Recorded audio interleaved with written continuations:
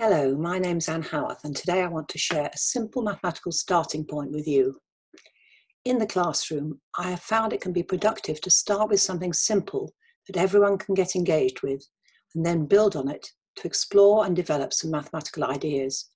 Maybe have simple starting points of your own that you use in this way. So, to start off today's activity, I invite you to think of a pair of numbers that add up to six. Now think of another pair. And another. I wonder what your first thoughts were and what number pairs you thought of. What pairs of numbers do you think your students would suggest? How many pairs of numbers are there? I invite you to pause and think about that question and about the, what the responses may be in the classroom. Will your students see the infinite possibilities, both with the numbers between 0 and 6 and with the numbers outside that range? If not, how can you help them to do so? Pause and think what questions you could ask. Perhaps you thought of some questions like these. If one of the numbers is three, three and a half, what's the other one? If one of the numbers is 2.1, what's the other one? If one of the numbers is nine three quarters, what's the other one?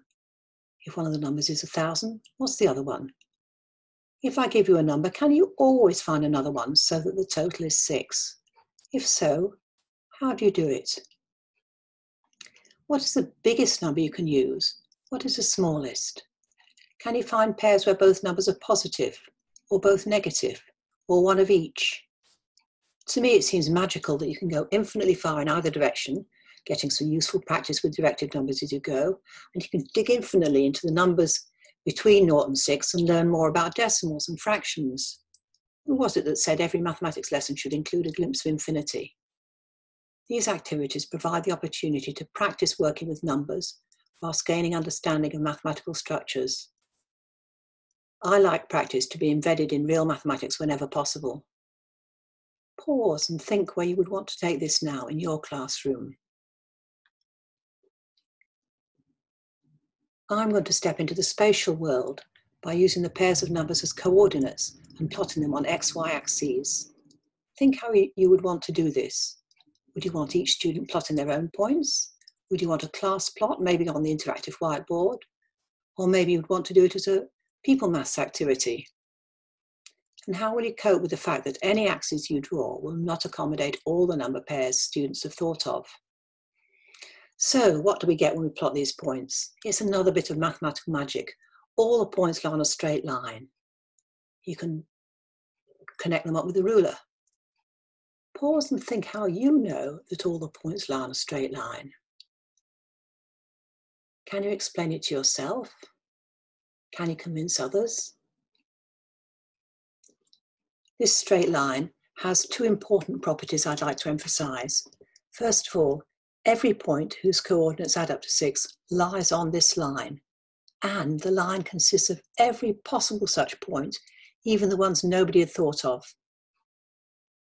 And some points people chose that won't fit on the, these particular axes are nevertheless part of that same line. The fact that we cannot mark them on these particular axes is a matter of practicality, not mathematics. They are all part of the line the line that we physically draw is just a representation of the perfect mathematical line containing all these infinities of points. I think it's important to provide opportunities for students to explore and appreciate such ideas. I wonder if you agree. Where on the line are the pairs that were chosen earlier? Where are the pairs with both coordinates positive, for example, or one negative and one positive?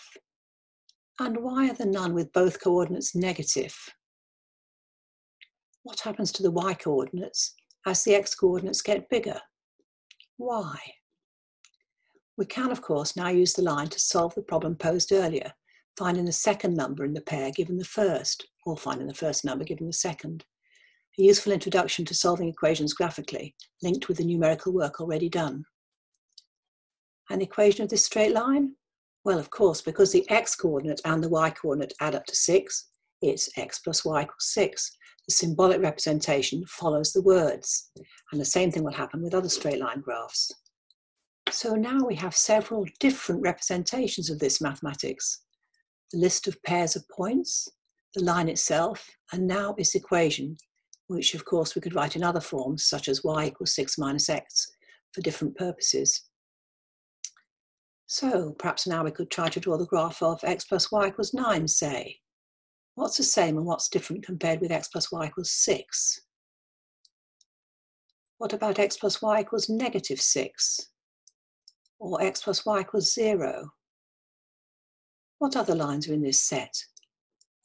And can you plot such lines without having to list the points first? How? What other questions could you ask?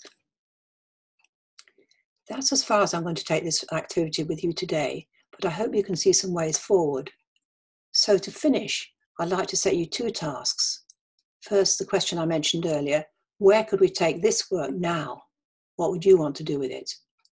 Second, think about other simple starting points that you could lead, you could use to lead to mathematical exploration and development in your classes.